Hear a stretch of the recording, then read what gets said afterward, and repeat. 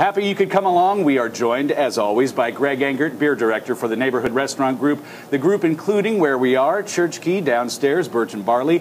Greg, a James Beard Award nominee. It is always good to see you. See you too. What is on tap this week? So this week, um, I thought we would bring it back to one of my, my most favorite kind of classic beers out there. Something you find year-round uh, in, in most parts of the East Coast, at the least, in Michigan, of course. This is called Founders Porter uh, from Founders Brewing Company in Grand Rapids, uh, Michigan. Um, one of the coolest things about this beer is that it disappeared for a long time, um, for a few years actually, from their portfolio, but came kind of uh, came back very strong, and it's actually the fastest growing um, beer in their in their core uh, portfolio Really? right Wow. now. So I um, love the double trouble. Oh, That's oh. so good. I wish they'd make more of that. That's one of their uh, seasonals, like the Imperial Stout, where if that was a year round, it, it might even outpace the Porter. But um, as far as it goes, I think this was up 85% uh, in sales in 2012. So Nice. an amazing beer. Seven different malts. Um, three different hop varietals uh, ends up being 45 IBUs, which is international bittering unit. So it's got a nice roasty, chocolatey intensity, a little bit of a hop bitterness as well. Um, but the cool thing is it's a very simple recipe at the same time. There's no adjuncts in this. It's not it doesn't use smoked malt, it doesn't use vanilla or coffee uh, or cocoa nibs or anything like that. It's just a straight up uh, beer with water, yeast, barley malt, and hops.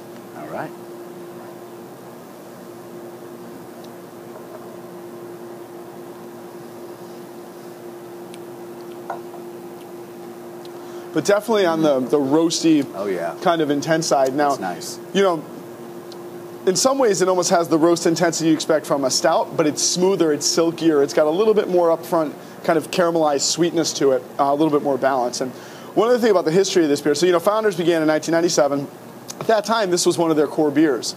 Uh, I think we've talked about their early um, troubles that they had there. In 2001, when they revamped the entire thing, decided to make beers that were intensely flavored that they wanted to drink, this also got reworked.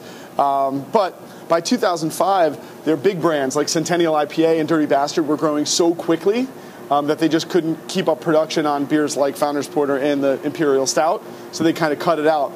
Then 2007, the expansion happens, and uh, Dave Engber, who's one of the uh, founders and owners, decided we're going to bring Founders Porter back, especially because um, they were selling a ton of beer on the East Coast, including in the Mid Atlantic, and Dave associates the Mid Atlantic kind of rightfully with porter drinkers, and there's lots of porter drinkers in our area. So in some ways, uh, the drinkers of Washington D.C., Northern Virginia, Maryland, and uh, beyond the Mid Atlantic are responsible for this beer coming back. Nicely done. Yeah. Pat yourself on the back. Um, so uh, yeah, it's a it's a, a really a really special beer for sure.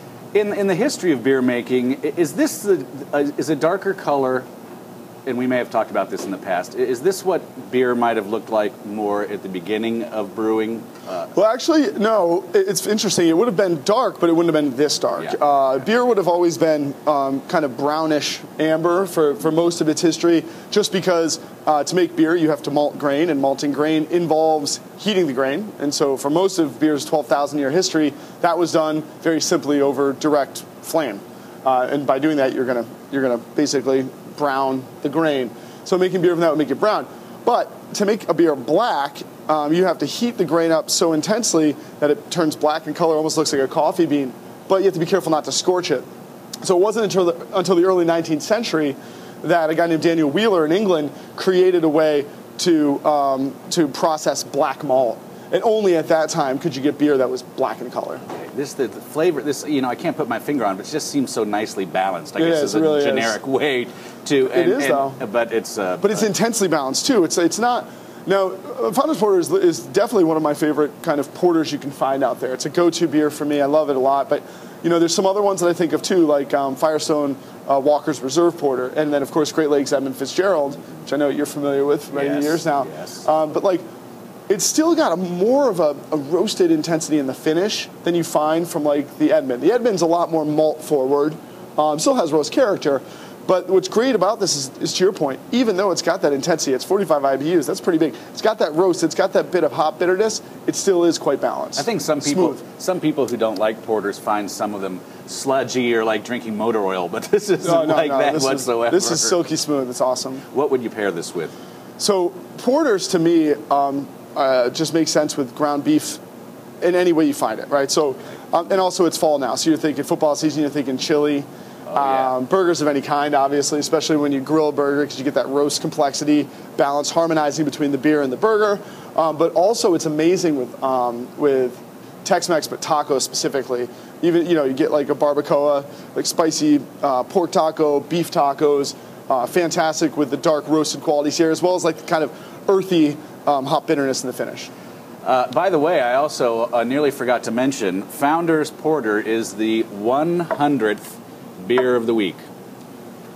It's it's amazing. We, we're not quite at two years. We two years in December, but this is the 100th beer, Wow. which means last week was 99, and fortunately, I forgot to sing 99 bottles of beer Yeah, on the yeah, wall. I don't know if everyone would have watched 100th. the video to uh, uh, all the way to the end in that case. That's been a lot. That's a lot. Yeah, yeah. All right, here's to the next 100. And uh, before we go, we mentioned before we started taping, uh, DC Flea. Tell me a little bit about what you guys have going on. Oh, there, yeah, so- for people who don't know. Yeah, that's a great that's a great point. So um, Brooklyn Flea was the thing that started out in Williamsburg. Uh, this kind of uh, hipster flea market, really cool place. We also have beer and food and things like that. So um, they've spread down to the district now, and every Saturday through the fall, they're doing this really cool hip flea market over uh, by the 930 Club. And Church Key is now doing a pop-up beer garden. So every week you go to the Flea. It starts at 10 a.m., goes till 5 p.m.